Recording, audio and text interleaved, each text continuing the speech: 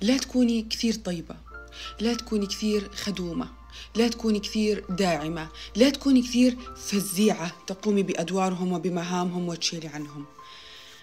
لأنه لن يحبك الجميع ولن يتفق عليك الجميع ولن يرضى عنك الجميع ولن تكوني نجمة الجماهير في محيطك.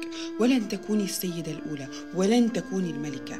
هتجدي من يكرهك وهتجدي من ينتقدك وهتجدي من يحسدك ويحقد عليك وهيضيق خلقك وهتتأثري وهتعيشي دور الضحية. لأنك حبيتي تعيشي من الأساس حياة أفلاطونية.